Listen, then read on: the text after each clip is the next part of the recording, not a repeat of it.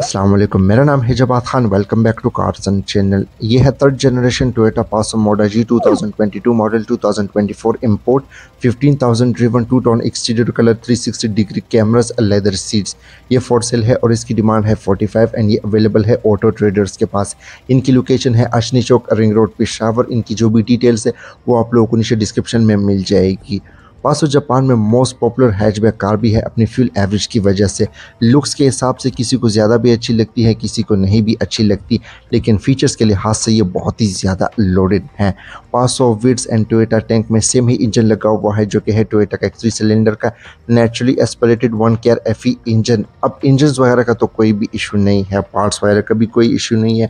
पासो वैसे भी पाकिस्तान में बहुत अरसे से इम्पोर्ट की जा रही है। तो लुक्स के हिसाब से, मेरे हिसाब से तो पासो मोडा नॉर्मल पासो से खूबसूरत लुक प्रोवाइड करती हैं। अब पासो मोडा में आते हैं थ्री मेन वेरियंट्स जैसे कि पासो मोडा पासो मोडा एस पासो मोडा जी, जो कि इसका टॉप ऑफ़ लैंड वेरियंट है। और आज जो हमारे सामने पासो मोडा कड़ी है, ये तो कुछ ज़्यादा ही फीचर्स के लिहाज से लोडेड है, जैसे कि इसमें 360 डिग्री कैमरास अवेलेबल है। फ्रंट एंड रेयर बम्पर में पार्किंग सेंसर्स इंटीरियर में भी बहुत सारे फीचर्स दिए गए हैं। इवन इसके जो सीट्स है, ये भी लेदर फिनिशिंग के साथ है, और फिर उसके ऊपर एक्स्ट्रा फैब्रिक का भी यूज़ हुआ है, जैसे कि नाइन्टी स्क्रोलर में भी आप लोगों को मिलते थे।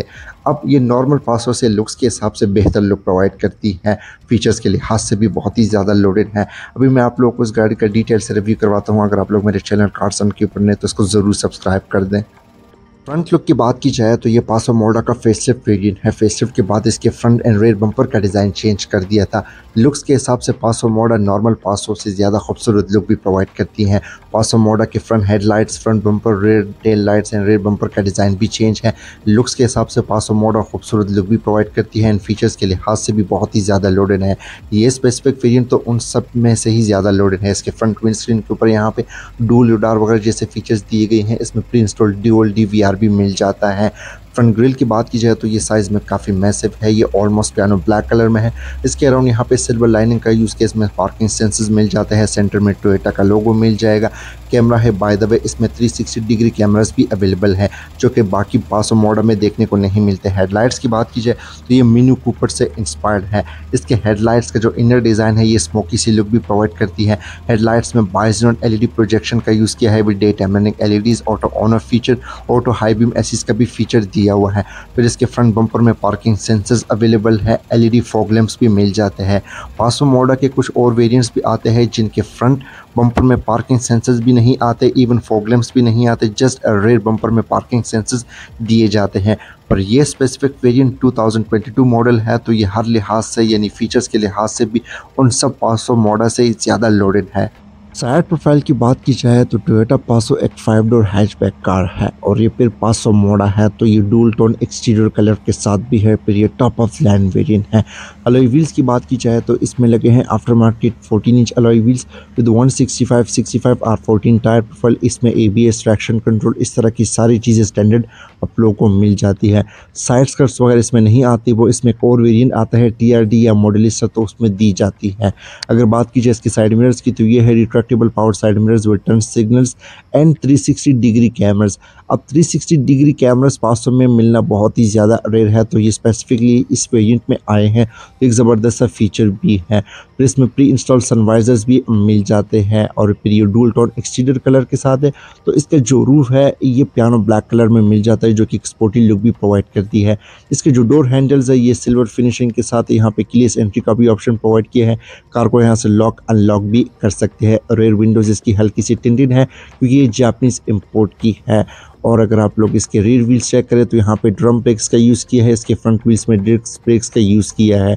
साइड प्रोफ़ाइल से लुक्स के हिसाब से नॉर्मल पास से बहुत ही ज़्यादा खूबसूरत लुक भी प्रोवाइड करती है।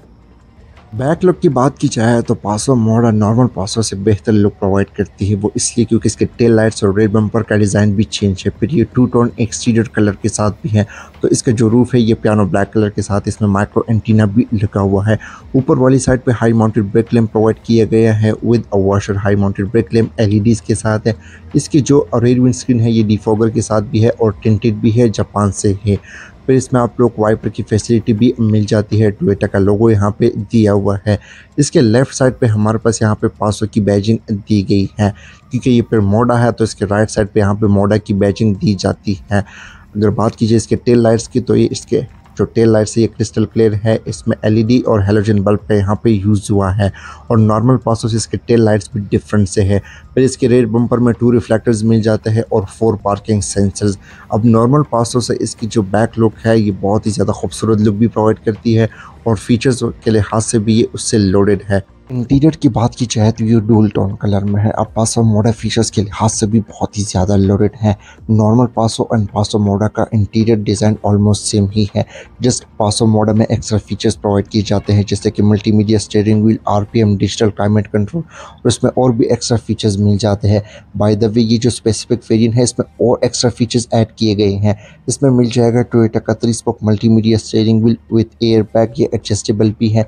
इसके ऊपर आफ्टर मार्केट लेदर स्टिचिंग की गई है, इसके लेफ़्ट स्पोक के ऊपर इसके मल्टीमीडिया के कंट्रोल से मोड को चेंज कर सकते हैं, इसके हेडलाइट्स में ऑटो ऑन ऑफ़ के भी फीचर हैं और इसके लेफ़्ट साइड पे इसके फ्रंट और रेयर वाइपर की कंट्रोल है क्योंकि जैपनीज इम्पोर्ट की है स्टेयरिंग के राइट साइड पर यहाँ पे एयरबेंट है, उसके अराउंड यहाँ पे कॉपर एंड ग्रे कलर का यूज़ हुआ है एयरबेंट राउंड शेप में है।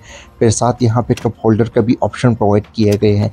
नीचे वाली साइड पे बहुत सारे फीचर्स दिए गए हैं क्योंकि ये टॉप ऑफ़ लैन वेरियंट है तो इसमें इंजन स्टार्ट स्टॉप का बटन मिल जाता है ट्रैक्शन कंट्रोल एंटी ब्रेकिंग या रेडार वगैरह के फीचर्स ई कॉइडल को यहाँ से ऑफ़ ऑन कर सकते हैं। इसके हेडलाइट्स में जो है ऑटो हाई बी मैसेज का भी फीचर दिया हुआ है। पार्किंग सेंसर इसके फ्रंट और रेयर बम्पर में भी अवेलेबल है। कुछ वेरियंट्स में सिर्फ़ रेयर साइड पर दिए जाते हैं। अब मीटर की बात की जाए तो नॉर्मल पासो में सिंपल सा मीटर दिया जाता है। उसमें आरपीएम भी नहीं आता, पासो मोडा में आरपीएम भी मिल जाता है। राइट साइड पे डिस्प्ले भी दी गई है, जिसमें मल्टीपल इन्फॉर्मेशन मिलेगी। ये चली हुई है तकरीबन फिफ्टीन थाउज़ेंड सिक्स हंड्रेड इसके बाद जो है ट्रिप ए ट्रिप बी और साथ यहाँ पे इको आइडल की रिलेटेड इन्फॉर्मेशन मिलेगी। आउटसाइड टेम्परेचर फ्यूल एवरेज और इसकी जो रेंज है वो भी आप लोगों को मिलेगी। डिजिटल गेज यहाँ पे प्रोवाइड की गई है फ्यूल की। टोटल 180 तक स्पीड लिमिट है और लुक्स के हिसाब से भी ये खूबसूरत लुक प्रोवाइड करती है। मेन डैशबोर्ड की बात की जाए तो यहाँ पे मोस्टली सॉफ्ट प्लास्टिक का ही यूज़ हुआ है। ये जो सेंसर्स है, ये इसके ऑटो हेडलाइट्स का सेंसर यानी इसकी हेडलाइट्स खुद से सेंस करती है डे और नाइट को।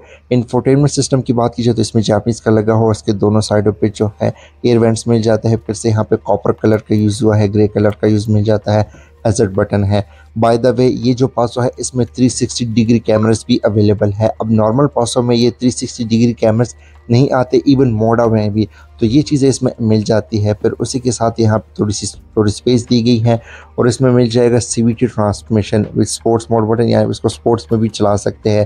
फिर पासो मॉडल में दिया जाता है digital climate control with auto function और यहाँ पे जो है मोस्टली पियानो ब्लैक कलर का यूज़ हुआ है।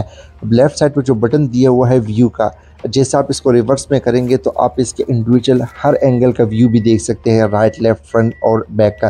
तो ये भी इसमें एक अच्छा सा फीचर है, कुछ गाड़ियों में ये चीज़ आप लोगों को नहीं दी जाती, जो कि खैर, बात की जाए इसके और फीचर्स की तो डैशबोर्ड में थोड़ी सी स्टोरेज स्पेस दी गई है, इसमें वो टिशू मोबाइल और इस तरह रख सकते हैं। कप होल्डर का यहाँ पे भी ऑप्शन है ग्लव बॉक्स की बात कीजिए तो नॉर्मल से साइज़ का है, इसमें बुकलेट वगैरह तक इसकी पड़ी हुई है। तो इसमें आप लोगों को मल्टीपल एयर बैग्स भी मिल जाते हैं। अगर बात की जाए इसके रेयर व्यू मिरर की तो ये नॉर्मल से साइज़ सही है। और फिर इसके साथ यहाँ पे डी भी लगा हुआ है, जो कि फ्रंट और रेयर साइड पे दोनों पे अवेलेबल है। किसी पैसेंजर ने सीट बेल्ट नहीं लगाई तो यहाँ पे वार्निंग भी मिलेगी रीडिंग लाइट से जो कि हेलोजन बल्ब के साथ है। सन शेड्स की बात की जाए तो ड्राइवर साइड के लिए यहाँ पे वैलिटी मिरर भी अवेलेबल है, लेकिन विदाउट लाइट है। अगर बात की जाए पैसेंजर के लिए तो यहाँ पे भी अवेलेबल है। लाइट किसी वाली साइड पे भी मौजूद नहीं है। बाकी अगर बात की जाए इसकी रूफ लाइनिंग की तो आप लोग यहाँ से देख भी सकते हैं।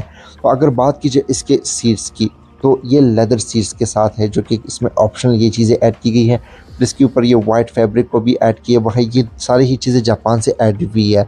तो ये वाइट फैब्रिक जो है, ये बहुत ही ज़्यादा खूबसूरत लुक भी प्रोवाइड करती है। इसकी सीट्स में एयर बैग भी मिल जाता है। सेंटर में फैब्रिक का यूज़ हुआ है, वही डिज़ाइन मिल जाता है। ये सोफ़ा सीट्स है, इसके सेंटर में आमरेस भी है और अगर आप चाहें तो इसके फ्रंट साइड पे भी तीन लोगों को बिठा सकते हैं। इसकी सीट्स बहुत ही ज़्यादा कंफर्टेबल है, ये एडजस्टेबल भी है। या आप इसको हाइट को भी अपने मुताबिक एडजस्ट कर सकते हैं। इवन इसमें जर्मन पासोमोडा के मैट्स भी आते हैं। फ्रंट डोर कार्ड्स की बात की जाए, यानी ड्राइवर साइड की कंट्रोल्स की तो यहाँ पे भी मोस्टली प्लास्टिक का यूज़ हुआ है। साइड विंडोज़ पावर है, साइड मिरर्स रिट्रैक्टेबल है, उनमें फोल्ड एंड फोल्ड के फीचर है, नीचे वाली साइड पे बोटल होल्डर स्पीकर बिल दिए गए हैं। ओवरऑल अगर इसके इंटीरियर की बात की जाए तो लुक्स के हिसाब से बहुत ही प्रीमियम लुक प्रोवाइड करती है। रेयर कैबन की बात की जाए तो थाउज़ेंड सीसी कैटेगरी में सबसे स्पेशियस कार पासो है। हमारी लोकल जो थाउज़ेंड सीसी गाड़ी है, उनसे हज़ार गुना बेहतर भी है। इसकी एंट्रेंस एग्ज़िट बहुत ही ज़्यादा बेहतर भी है। रेयर सीट्स की बात की जाए तो ये बहुत ही कंफर्टेबल सीट्स है। लेदर फिनिशिंग के साथ है, फिर इसके ये फैब्रिक भी लगा हुआ है। साथ यहाँ पे थ्री हेड रेस्ट भी प्रोवाइड किए गए हैं और यहाँ पे इजीली तीन लोग भी बैठ सकते हैं। फिर इन सीट को आप फोल्ड भी कर सकते हैं। लेग स्पेस की बात की जाए तो अच्छी खासी स्पेशियस है। हालाँकि अगले वाली सीट बिल्कुल मैंने पीछे की हुई है। इसकी जो सीट्स है, ये बहुत ही ज़्यादा कंफर्टेबल इसलिए भी है कि ये लेदर फिनिशिंग के साथ है। फिर इसके ऊपर ये फैब्रिक भी वगैरह लगा हुआ है। फिर साथ ही रूफ लाइनिंग वगैरह चेक कर सकते हैं। रेड डोर कार्ड्स भी फ्रंट साइड की तरह ही है। साइड विंडोज़ इसकी पावर्ड है, स्पीकर बिल, इस तरह की छोटी मोटी चीज़ें प्रोवाइड की गई हैं। तो ओवरऑल पासो अच्छी खासी स्पेशियस है। ट्रंक स्पेस की बात की जाए तो हमारे लोकल थाउज़ेंड सीसी गाड़ियों से इनकी जो ट्रंक स्पेस है वो अच्छी खासी बेहतर है। विड्स और पासों की ऑलमोस्ट सेम ही ट्रंक स्पेस है। यहाँ पे इजीली तीन से चार लोग का लगेज आ सकते हैं। अगर आप इसकी ट्रंक स्पेस को और बढ़ाना चाहते हैं तो आप इन सीट्स को यहाँ से फोल्ड भी कर सकते हैं, जो कि ईजिली फोल्ड हो जाती हैं। पर यहाँ पे एक चीज़ की कमी मौजूद है, वो है इसमें स्पेयर टायर इसमें जस्ट टूल किट और टायर रिपेयरिंग किट इस तरह की चीज़ें दी जाती हैं। हालाँकि कुछ वेरिएंट्स में आप लोग को स्पेयर टायर मिल जाता है, नीचे वाली साइड पे जगह है, लेकिन खैर कंपनी ये चीज़ें यहाँ पे ऑफ़र नहीं करती। कुछ वेरिएंट्स में मिल जाते हैं, जो कि जापान में लोगों ने इसमें ऐड किए होते हैं। बाकी अगर ओवरऑल ट्रंक स्पेस की बात की जाए तो अच्छी खासी है, और इसकी जो ट्रंक है, ये आप लोगों को प्लास्टिक के फिनिशिंग के साथ अब मिलेगी। तो ये चीज़ जो है, इसको फ्यूल एवरेज बेहतर करने के लिए इस तरह की चीज़ें प्रोवाइड की गई हैं। अब अगर बात की जाए इसके इंजन की तो Toyota Passo Vitz and Toyota Tank में सेम ही इंजन मिल जाता है। अब ये टोयोटा जापान का एक मोस्ट फ़ेमस इंजन भी है। सो इसमें जो इंजन लगा हुआ है यह है टोयोटा का एक थ्री सिलेंडर का naturally aspirated thousand C C one K R F E engine ये सी की ट्रांसमिशन के साथ है। फ्यूल एवरेज की बात की जाए तो ये 20 से लेकर 25 के दरमियान आप लोग को फ्यूल एवरेज प्रोवाइड कर सकती है। इससे बेहतर फ्यूल एवरेज भी मिल सकती है, लेकिन वो आपके चलाने पे भी डिपेंड करता है। फिर ये इको आइडल फ़ंक्शन के साथ भी है आप इको आइडल को आप ऑफ़ ऑन भी कर सकते हैं। तो इससे जो फ्यूल एवरेज है, वो भी आप लोगों को अच्छी मिलेगी। ये जो पासो है, ये जापान में अपने फ्यूल एवरेज की वजह से भी बहुत ही ज़्यादा फ़ेमस है। ये वेट्स और टोयोटा टैंक से भी ज़्यादा बेहतर फ्यूल एवरेज प्रोवाइड करती है। बॉनट के इनर साइड पर प्रॉपर इंसुलेशन का यूज़ हुआ है। इससे हीट कम हो जाती है साउंड काफ़ी हद तक डैम्प्ट हो जाती है। फिर ये जैपनीज़ है, इसमें A B S air bag traction control इस तरह की सारी चीज़ें आप लोगों को स्टैंडर्ड मिल जाती है और पार्ट्स वगैरह का भी कोई इशू नहीं है। अच्छा तो व्यूवर्स कैसी लगी आप लोगों को ये टोयोटा पास मोड़ा टॉप ऑफ़ लाइन वेरिएंट जो कि लेदर इंटीरियर के साथ भी है? कमेंट सेक्शन में अपनी फीडबैक से आगाह कर सकते हैं। अगर आप लोगों को मेरी रिव्यूज़ पसंद आती है तो मेरी वीडियोस को लाइक कर दे कमेंट कर दे, दोस्तों के साथ शेयर भी कर ले। सो आज के लिए इतना ही, मिलते हैं फिर अगले रिव्यू में, तब तक के लिए अपना ख्याल रखिए। असल अल्लाह हाफिज़।